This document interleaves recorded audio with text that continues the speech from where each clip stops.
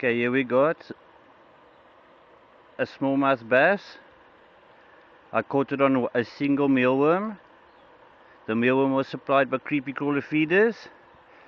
We're at the Berg River. Hopper seven in the morning. Beautiful specimen on light equipment. He took the mealworm one time. Look at that nice bass. Look at that beautiful bass. Beautiful smallmouth.